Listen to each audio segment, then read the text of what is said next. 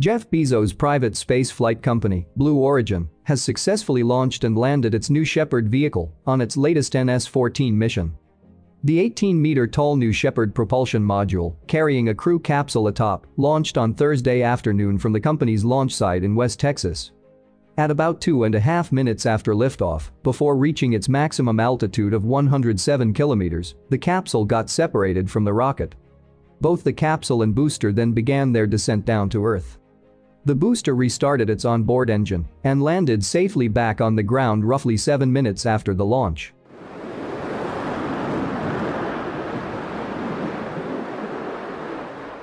Meanwhile, the capsule descended safely back to Earth via parachute, where it then came to a gentle landing back on the ground.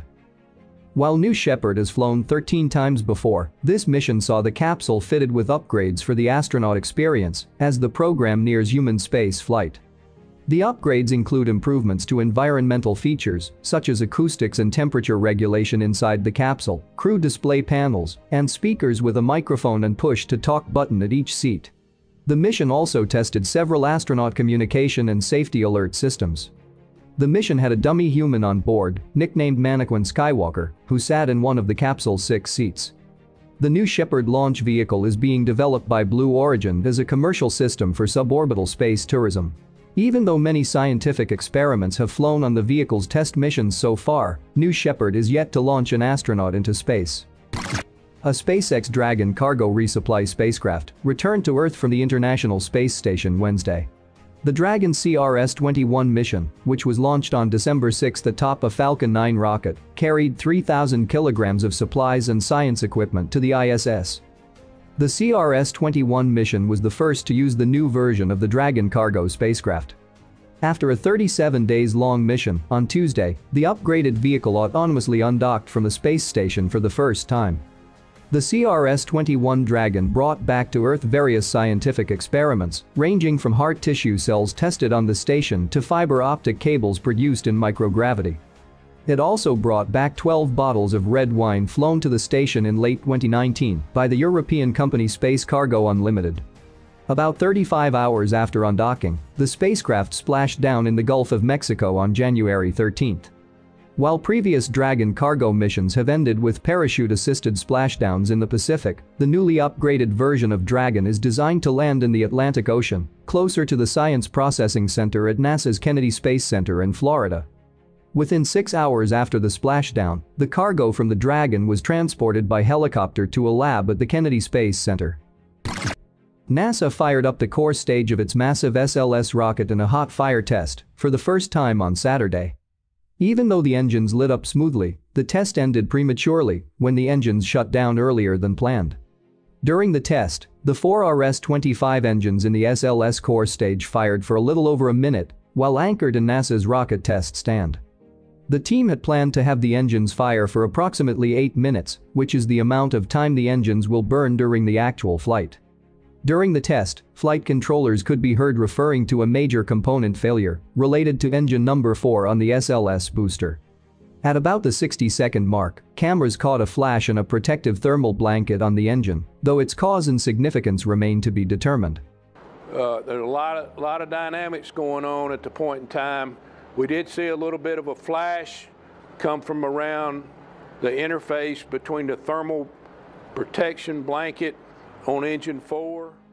According to a NASA statement, the onboard software acted appropriately and initiated a safe shutdown of the engines. According to John Shannon, Vice President and Program Manager for SLS, the engines needed to run for about 250 seconds to get the data they needed. Since the test was stopped short of 250 seconds and before the teams could gimbal the engines, exactly how much data and how confident the teams are in the vehicle is yet to be determined. NASA will conduct the next round of hot fire tests after figuring out what went wrong on Saturday. The Federal Communications Commission has recently granted SpaceX permission to launch Starlink satellites into polar orbit. In an FCC order issued on January 8, the commission granted SpaceX the ability to deploy and operate 10 Starlink satellites at an altitude of 560 kilometers and at an inclination of 97.6 degrees. SpaceX will launch the satellites to polar orbit atop a Falcon 9 rocket on the upcoming Transporter 1 dedicated rideshare mission, targeted for January 21. The launch will be SpaceX's first rideshare mission for 2021, with the company taking satellites from several entities to a sun-synchronous orbit.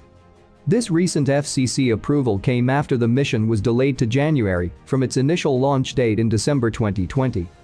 The orbital parameters of the Starlink satellites are a hot point of contention in the satellite industry.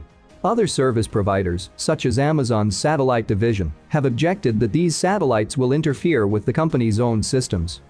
But the FCC said that the interference concerns raised by objectors are not implicated for these 10 satellites. These 10 satellites are part of the 348 polar Starlink satellites that SpaceX intends to operate at an altitude of 560 kilometers. According to SpaceX, sun-synchronous and polar orbit satellites will allow the constellation to serve customers and communities in high northern latitudes, possibly including the Arctic and Antarctic. Last week, SpaceX secured contracts for the launches of a commercial lunar lander mission, backed by NASA, as well as a privately funded satellite to track methane emissions. Intuitive Machines said it has chosen SpaceX to launch the IM-2 lunar lander on a Falcon 9 rocket no earlier than 2022.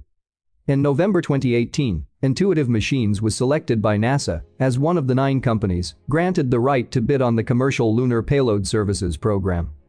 Their lander, Nova-C, is the first lander of this program, which is focused on the exploration and use of natural resources of the moon. This is the second launch contract between SpaceX and Intuitive Machine. The company's first lunar mission, designated IM-1, was previously contracted to launch on a Falcon 9 rocket as soon as 11 October of this year. Once landed on the moon, Nova-C will deploy the Polar Resources ice mining experiment on the lunar surface. Delivering the Prime 1 drill to the moon is a precursor to look for water below the lunar surface. Besides the Prime 1 drill, two other NASA technology payloads will fly on the lander, Launching Nova-C on a rocket with a proven record of reliability and outstanding value is an assurance to NASA and our commercial payload customers that Intuitive Machines is dedicated to sticking the landing in back-to-back -back moon missions. Said Steve Altemus, President and Chief Executive of Intuitive Machines, in a company statement. In a separate announcement, MethaneSat, a subsidiary of Environmental Defense Fund, said it would launch its eponymous satellite on a Falcon 9 rocket in October 2022. The spacecraft will launch through SpaceX's small sat rideshare program. The 350-kilogram satellite, being built by a team that includes Ball Aerospace and Blue Canyon Technologies, will perform high-resolution mapping of methane emissions, helping scientists and environmental advocates to identify sources of greenhouse gas from oil and gas industry facilities. SpaceX offers the readiness and reliability we need to deliver our instrument into orbit and begin streaming emissions data as soon as possible we couldn't ask for a more capable launch partner.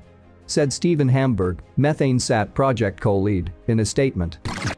The HEAT probe developed and built by the German Aerospace Center and deployed on Mars by NASA's InSight lander has ended its portion of the mission.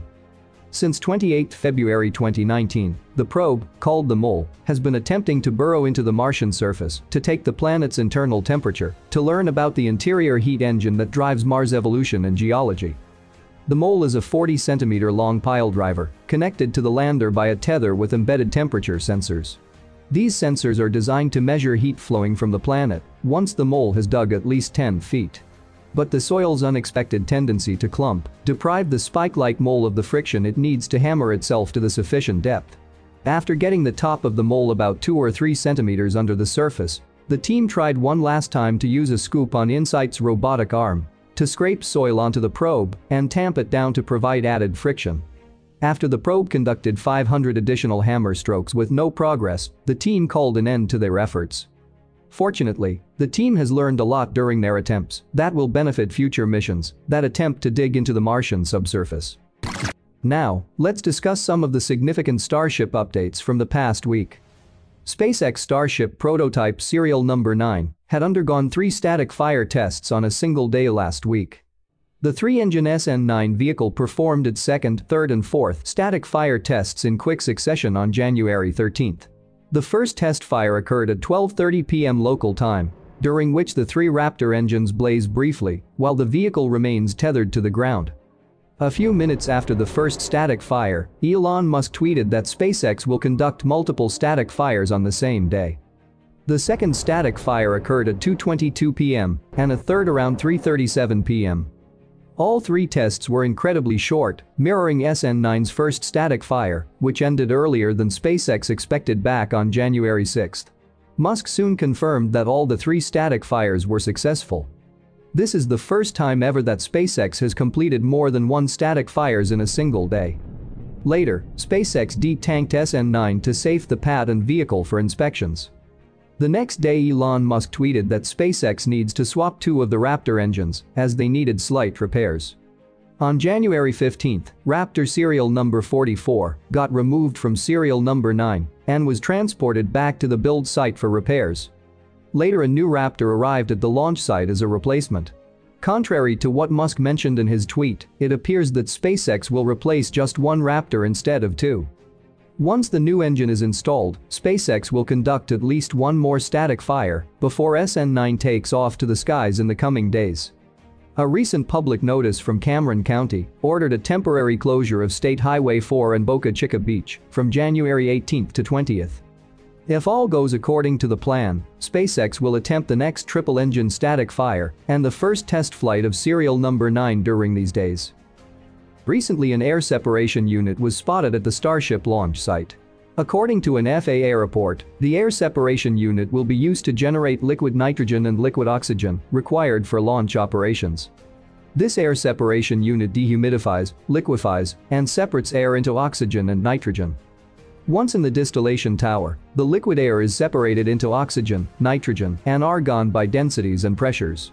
The liquids are then pumped into the main storage tanks at the pad and is used for launch operations.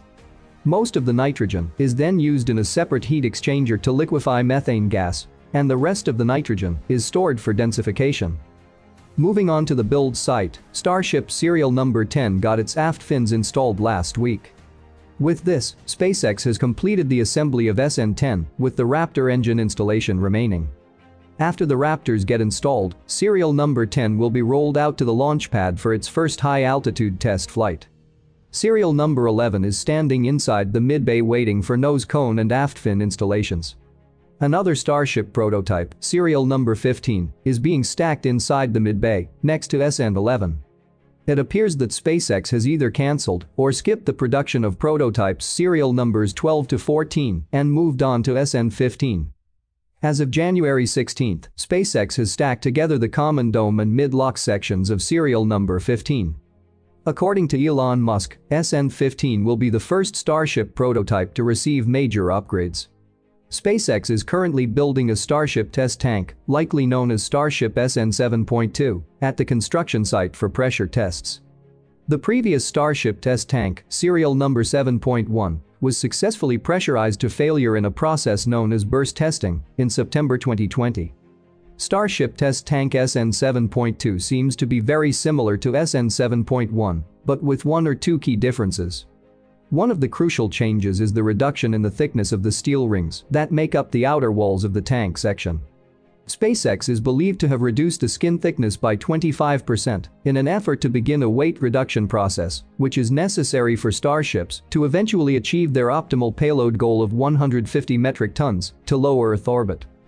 A reduction from 4mm to 3mm steel rings could likely cut 5 to 10% from Starship's empty weight. And for SpaceX, every gram of Starship mass reduction translates directly into an extra gram of payload. Another key change is an upgraded thrust puck, which will be installed under the 7.2 test tank. Thrust puck is where the three central Raptor engines of Starship get attached. The new design simplifies plumbing complexity by allowing Starship's main fuel tank and header tanks to attach directly to and feed methane through the puck. Currently, it's unclear if a successful SN 7.2 test campaign will result in similar reductions to the steel that makes up Starship tank domes and noses. With this, we have covered all the major updates from last week. Please share your thoughts on the latest science news and Starship updates in the comments section. Also, do not forget to subscribe to the channel for more weekly updates. And as always, thanks for watching.